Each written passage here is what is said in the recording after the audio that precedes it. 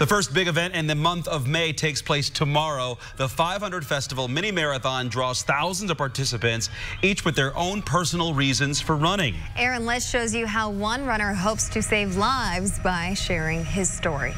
I've came all the way from Houston just to run across this finish line, just to show someone that they can change. Traveling more than a thousand miles, Marcus Cook is here for the 500 Festival Mini Marathon, and it's been a long journey. About a three and a half years ago, I weighed about 500 pounds, and uh, promised from a friend that was dying of cancer. He said, "Hey, uh, I'm dying because I have cancer. You're dying from your choice, and you got to promise me that you're going to change." He's taking that promise and literally running with it, competing in races across the country and losing 262 pounds so far it's small incremental changes that happen every day is what leads to giant rewards. Marcus says if he can do it, you can do it too. They may not be 500 pounds, but they may have 500 pounds of problems. And the way you change those problems are is you start doing something new every day, and those problems start disappearing, and the and the possibilities start increasing.